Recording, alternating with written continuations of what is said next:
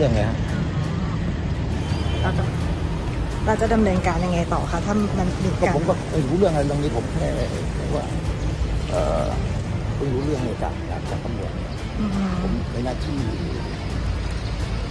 รักษาในสิบวันถ้าเฉยอ๋อ ๆไม่เป็นไรเรื่องนี้มันมันต้องคุยกันคือชี้แจงได้ใช่ไหมอ่าคะชี้แจงได้ชี้แจงได้ครับครับอ่าเขาอ้างว่าเป็นอธิบดีกรมการข้าว ใช่ใช่แล้ว ผมผมเพิ่งทราบเมื่อกี้เพิ่งทราบเหมือนกันอืมครับเพิ่งทราบว่า